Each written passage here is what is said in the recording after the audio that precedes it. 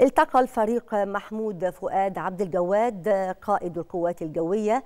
التقى ستيفان ميل رئيس هيئة أركان السلاح الجوي والفضاء الفرنسي وذلك خلال زيارته الرسمية إلى فرنسا.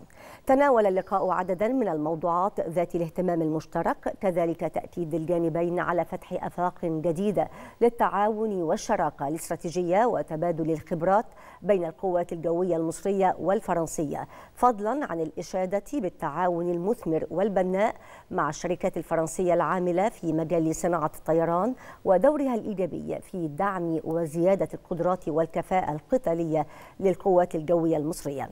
كما تضمنت الزيارة قيام قائد القوات الجوية المصرية بجولة لقيادة الفضاء التابعة لقيادة القوات الجوية الفرنسية وزيارة قاعدة مونمارسو الجوية وتفقد مركز العمليات ومركز المحاكاة المتقدمة.